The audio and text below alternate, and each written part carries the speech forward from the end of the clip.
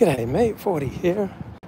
We're such a swell group of people. I mean, we're not truly superior men. We're not truly the ultimate group. All right. The, the keen intellects on this channel, the, the wisdom, the profundity.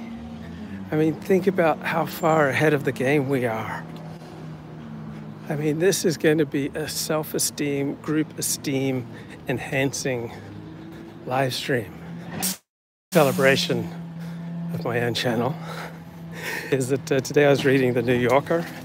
He said that uh, that great, much hyped problem of misinformation is misinformation. All right? The problem of misinformation is misinformation because, like I'm always saying, our quote unquote problems are rarely actually our problems. Our problems are just symptoms of deeper problems. Misinformation is not the problem, misinformation is just a symptom of a deeper problem. So, this New, New Yorker article makes the point that people hold two types of beliefs. And I think this is a useful way to categorize things, right? People hold beliefs right, about facts, right? And so people also hold beliefs about symbols. And so these are two different types of beliefs. So most of our symbolic beliefs are about signaling allegiance to a group, to a particular type of identity. And uh, so people can believe in a flat earth. People can believe that the uh, 1969 moon landing was a hoax.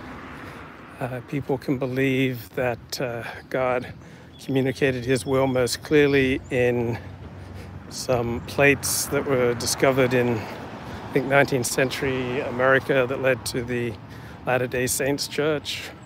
Right? People can have any variety of religious beliefs, conspiracy theory beliefs. They can be wrong about matters of geology and geography and biology. They can deny the truth of evolution and yet be high functioning, you know, successful people because these are symbolic beliefs. When people deny the moon landing, right, they, are not uh, leading lives that are that dramatically different from people who accept the, the moon landing. So people don't hold to their symbolic beliefs in the same way that they believe, hold to their factual beliefs. So, if you're a normal employee, you, you factually know that uh, the more aligned you are with what your bosses and supervisors want you to do, right, the more likely you are to succeed at your work, be appreciated at your work, and uh, keep your job and be rewarded and place yourself in a position for you know good things. On the other hand, you know factually, the, the less you think about your boss or your superiors and what they want, right, the more likely you are to get out of alignment with them and to run into trouble at work and even possibly lose your job. Right? If you never think about what your spouse wants, right, you're not going to be married for long if you never think about what your friends want, uh, you're not going to keep them as friends. If you don't think about what your family members want, right, you're not going to have good relations with, with family members. So these are like factual beliefs. You you believe that uh, in, in gravity, so you don't step out of a third story window. And these are very different from symbolic beliefs such as religious beliefs or beliefs in conspiracy theories. Right, so people who believe that the 2020 election was fixed, or people believe that uh, COVID vaccines are more harmful than good, uh, people who deny the truth of evolution, right, they essentially still are, are capable of living lives very similar to our own. So remember Peter Zeihan made a comment that uh, those who refuse to get vaccinated for COVID, that, that uh, scammers in Africa and, and, Russia are just targeting these people. But you, refusing to get vaccinated is largely a symbolic belief. You're identifying with a group of people who deny what public health and the medical establishment is telling you is true, but I don't think you are then going to be dramatically more likely to be scammed. Right? You still hold down a job, you run your own business, you might even be a doctor or a lawyer, an accountant, a dentist. Right? You're still in all likelihood a full functioning member of society, even though you hold what I, I think is a wrong belief. And so there are all these books out and all this public attention paid to the great problem misinformation. That's not really a huge problem because of a point that I have made repeatedly over the years. We did not evolve to be gullible. And I got that from Hugo Mercier's book, Not Born Yesterday. So he's a neuroscientist and he made the point we did not evolve to be gullible. We evolved methods of detecting when other people are trying to manipulate us.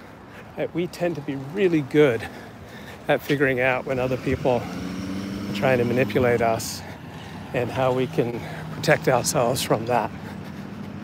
So we tend to be really bad at figuring out when we are trying to fool ourselves.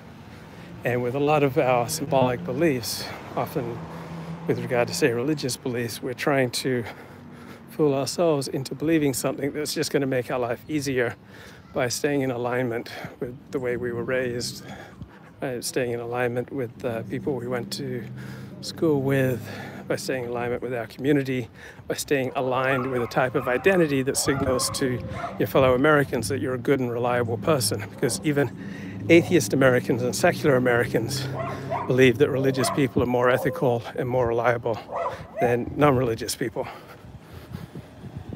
So in America, being associated with religion is primarily a way of saying I'm a good person, I'm reliable, I'm an upstanding member of society. Without regard to the fervency or dedication that you hold to these particular symbolic beliefs. So we often try to fool ourselves into believing things that uh, the rational empirical part of our brain thinks is false.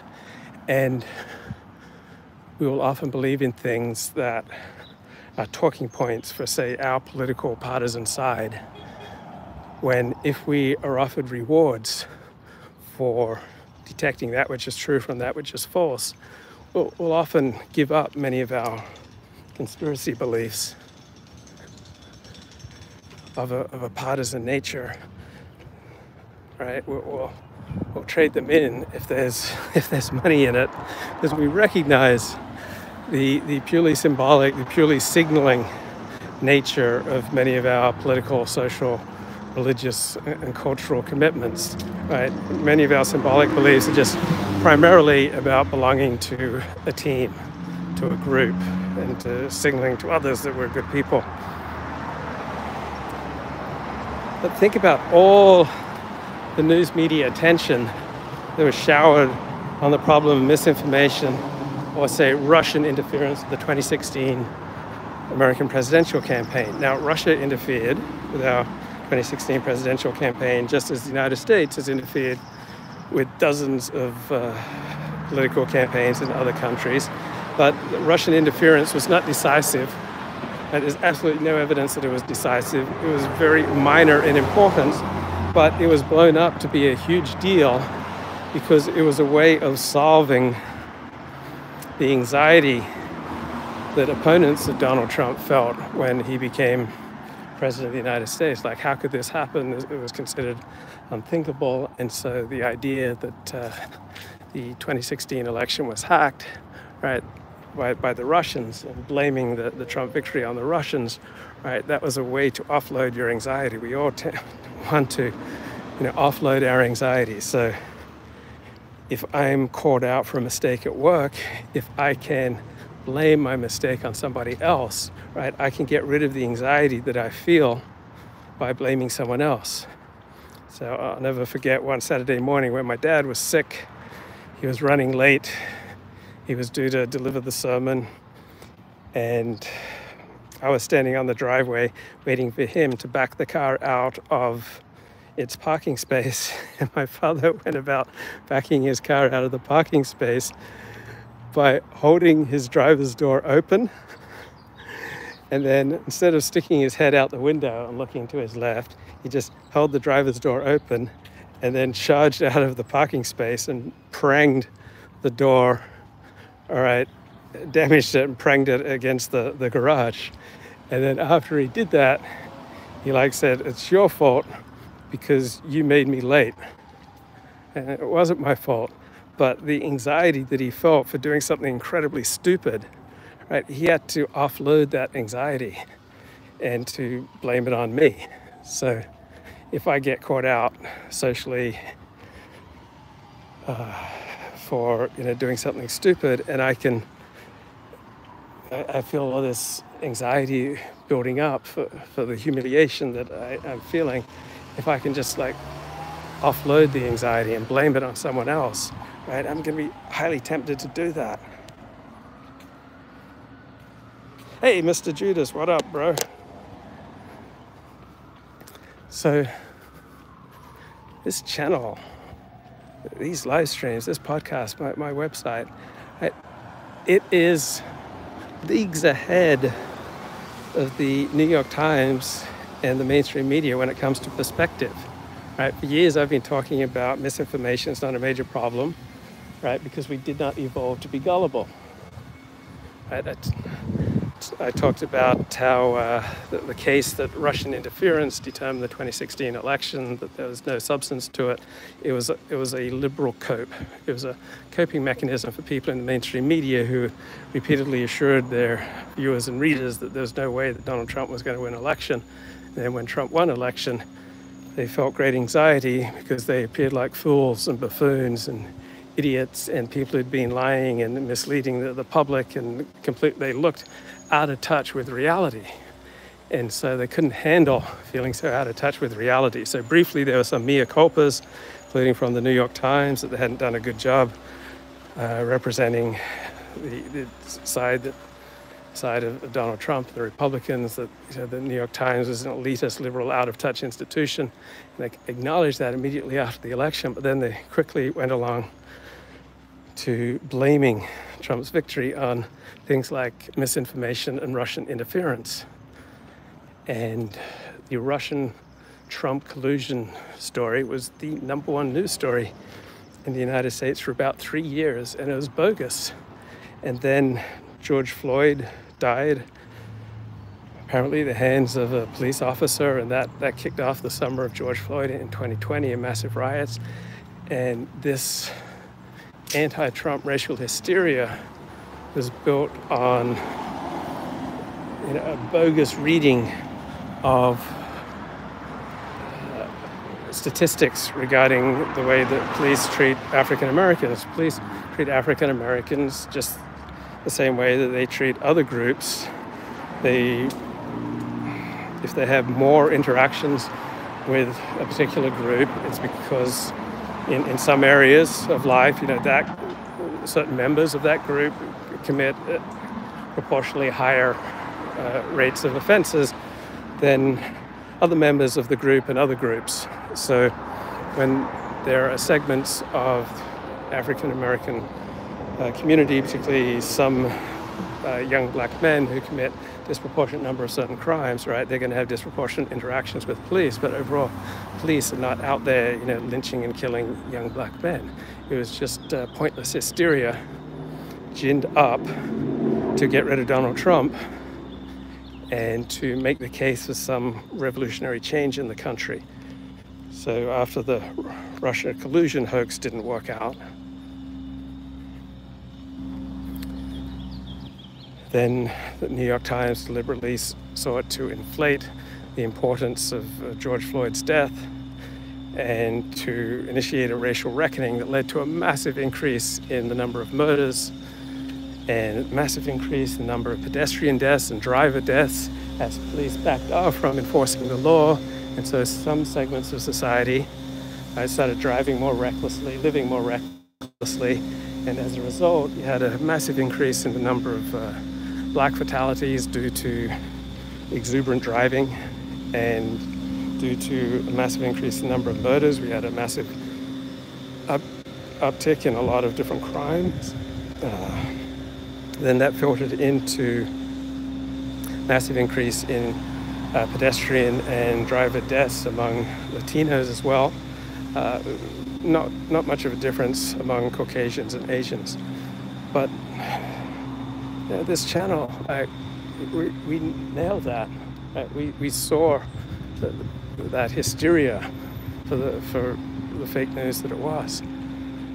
Uh, the recognition that different different people have different gifts. Right? I studied economics, and in economics, we tend to treat you know, all workers as just one form of input into a production cycle. But Japanese Americans have different gifts from Nigerian Americans. Speaking of Nigerians, people from the Igbo tribe are disproportionately successful compared to other tribes in Nigeria. Right? West Africans and East Africans tend to have different gifts. The West Africans dominate sprinting events, and East Africans dominate distance running. Right? The Japanese, the Chinese, and the Koreans, they, they have somewhat different gifts.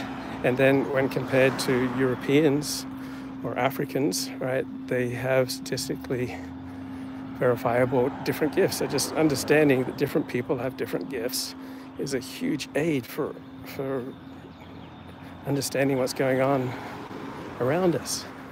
But so much of what's in the news is pointless. Right? There's just a ton of hysteria and a ton of hype you know, trying to capture eyeballs and readers by dishing out things that are so sensationalized that they're effectively not true and lacking in importance. Uh, the idea that the United States needs to arm and support Ukraine is a dominant feature in the news media, but there's absolutely no connection between what's going on in Ukraine and American vital strategic interests. There's no inherent reason why Israel's invasion of Gaza needs to have any impact on American vital strategic interests. None. But the way the news media covers things, you'd think that the events in Gaza or the events of Iran sending drones, slow moving drones to attack Israel on Saturday or of earth shattering significance. But the only reason that the Middle East is tremendously significant to the United States, to the extent that that's true, is because we're vastly overextended there, just like we're vastly overextended into Europe. Right, just on the basis of national self interest, we should you know, probably pull out of NATO and uh, stop arming and aiding Ukraine. Recognize that uh, Russia and China, uh, the other two great powers, have their own versions of the Monroe Doctrine, where they're not going to welcome you know, outside interference into their areas of influence. Uh, another way that uh, the news media consistently misses reality is by hyping the importance of individuals. Bibi Netanyahu's personality his belief that it's his mission to save the Jewish people. It really doesn't matter that much. It's compelling human drama. But when you read the news, it's all about personalities. Right? When you can focus news stories around compelling personalities, right, you're highly likely to attract eyeballs. Right? You're going to get viewers and readers and listeners when you talk about personalities. But I'm a structuralist. It's the structure of situations that's almost always far more important than the nature of personalities. Israel's relationship with the Palestinians would not differ that much depending on whether it was the Israeli Labour Party or Likud who's in power. Right? If Bibi Netanyahu dropped dead today, right, Israel's foreign policy would be pretty similar right? It's the structure of Israel's relationship with its neighbors that primarily determines how Israel operates. It's not personalities. It's the structure of America's economy, military might, and relationships with other competing powers that primarily determines how American politics goes. It's not Donald Trump's personality. Like Donald Trump's personality may be compelling or interesting or horrifying depending on your perspective but it doesn't really have that much to do with the real world. Right? The real world is primarily dominated and operated on the basis of structure. What gift do the Australians have? Right. Well, Australians love their idiosyncrasies, like anything that's, uh, you know, fair dinkum, like true blue, genuine Aussie uh, eccentricities like uh, koala bears and Vegemite and Aussie slang. Right, Aussies love their idiosyncrasies.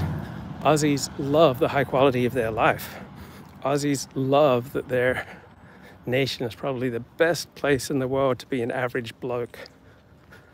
The most famous book about Australian politics, perhaps the most important book about Australian politics, is called The Lucky Country. So Australia is quote unquote lucky because of the capable nature of the people who settled and developed the land. And then its natural setting being protected by an ocean, so it does not have to erect walls against invaders, it just has to uh, maintain a navy and to protect its shores. And so Australia for years has a very firm immigration policy that if you come to Australia illegally, you will not be allowed to stay. Right? So Australia at various times has had influxes of boat people, and when this was thought to be in the national interest, right, thousands of say Vietnamese boat people were accepted as, citizens of Australia, and they became about one percent of the population at one point. But overall, Australia has maintained fairly strict uh, immigration control. And so, not many people come to Australia legally and get to stay there.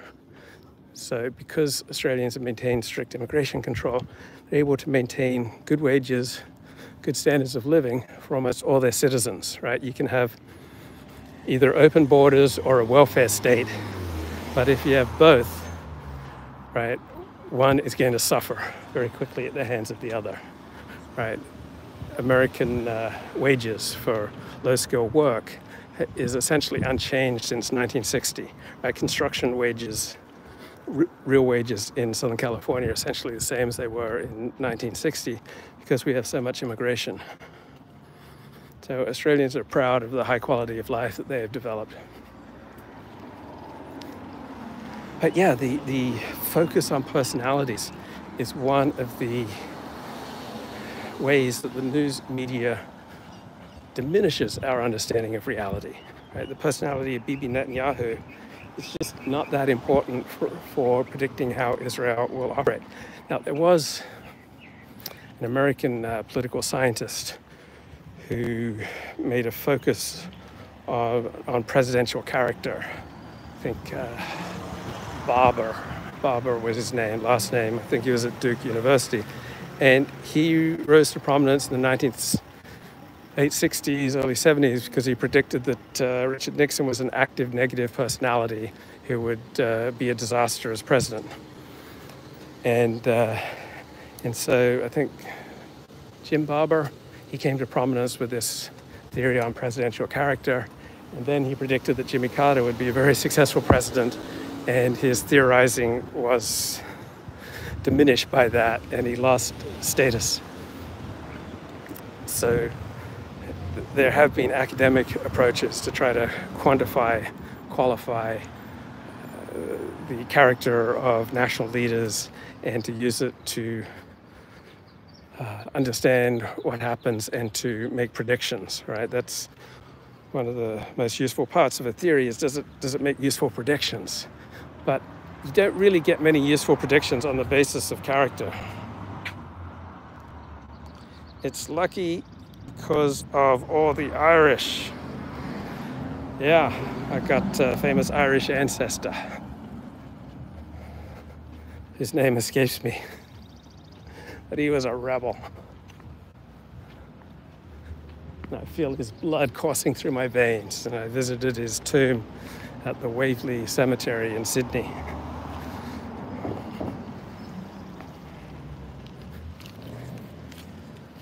The primary way we find out about the world around us is usually through following the mainstream news, right? CNN, CBS News, etc. But there are certain basic tendencies in the mainstream media which are not helpful to our understanding of the wider world, right? TV news in particular relies upon action video, that which is sensational and grabs the attention of your eye is not usually important. You know, people who are significant are really famous and the famous are really significant.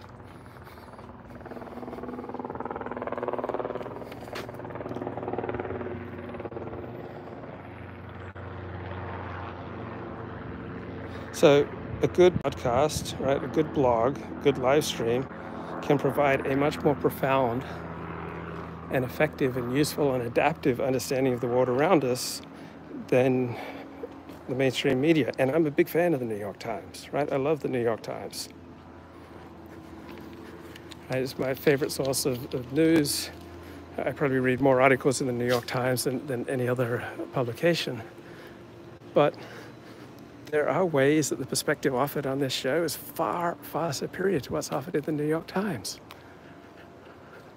For example, you'll get a lot more skepticism of institutions, of the reigning conventional morality, and of the professions, like on my channel, on my blog, than you will in, in the New York Times. So, primary purpose of professions is to enhance their own money making ability, their status, their prestige, and their power and influence over life, right? The, way the medical profession, dental profession, accounting profession, legal profession, right? The way all the professions operate is not primarily in the public interest, but it's to enhance the interests of its members, and this is usually done at a cost to the public interest.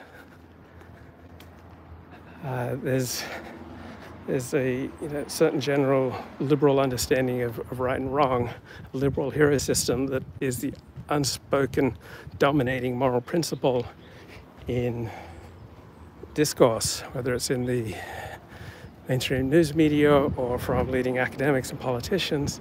And if you re- read my blog or check out my live streams, you'll you'll better understand this particular discourse, which presents itself as empirical and pragmatic and just interested in harm reduction and human flourishing. But you'll understand it's just another partisan perspective on life. It takes the the uh, liberal notion that we're primarily individuals born with certain inalienable rights, and this perspective on life is just much less helpful than the tribal or national perspective that we're primarily members of groups right? If you look at the world as primarily a bunch of individuals with certain inalienable rights, you'll think less clearly and you'll have less understanding of what's going on around you. And if you understand that people are primarily not individuals but members of families, extended families, communities, groups, tribes, nations, uh, religions. Right? We, we tend to think corporately. We think about Jews this way, gays this way, blacks this way, Australians this way, Japanese this way right? Because that's an economizing device on our attention span.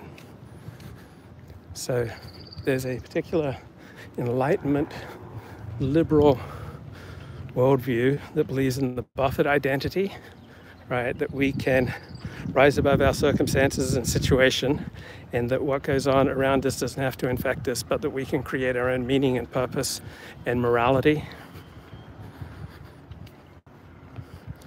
And this is the dominant ethos of contemporary discourse in the mainstream news media and of our elites. And it's a very different way of looking at war from the more traditional medieval perspective that we don't live buffered lives, that what's going on with you affects me, that what's going on in my neighbor's house affects me. That uh, the, the liberal ethos that dominates the mainstream media is that uh, we should all be reflexive. We should all be constantly monitoring our speech, thinking about how it will affect you know, different people who might hear it. And effectively, we're all expected to behave as courtiers now. So this is opposed to people who thought of themselves as lord of the manor.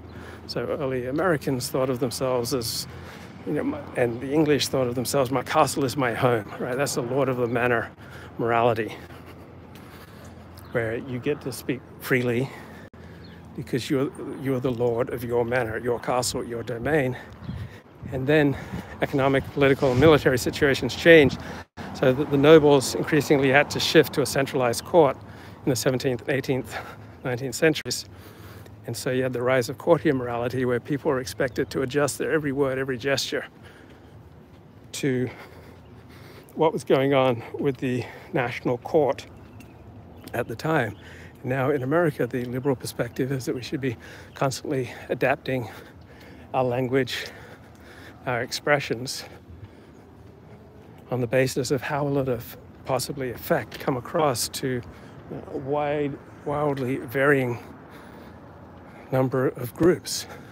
While the more traditional, my home is my castle, traditional conservative, reactionary, medieval perspective is that my home is my castle and I can say what I think and I don't have to cock. I don't have to bow. I don't have to scrape. I don't have to modify. I don't have to mollify others. I can just say what I think. Right, so we all have a hero system, right? We all fear insignificance, so we sign on to some kind of hero system to give our life the feel of eternity that we're part of something that will go on beyond us, and we usually get our hero system from our community. And this is a much sharper, wiser way of understanding reality than simply accepting the unspoken hero system, which is by virtue of not being explicated and not being revealed as the, the partisan hero system that it is, is simply presented in the mainstream media as you know, this is just the way it is. It's just the nature of reality, rather than being a particular choice, a particular way of being in the world. So a more reflexive, buffered identity where we get to choose and create our own meaning and morality, as opposed to the more visceral, traditional type of morality where we encountered a world filled with with God and with demons and with angels. And so for the for the trad, right, our greatest fear is moral contagion and invasion and anarchy, while for the modern, for the liberal, for the person left of center, the greatest fear is ignorance and bigotry, right? Lack of education, lack of sophistication, lack of the ability to take on the, the buffered, reflexive sense of self, lack of ability to adopt courtier morality.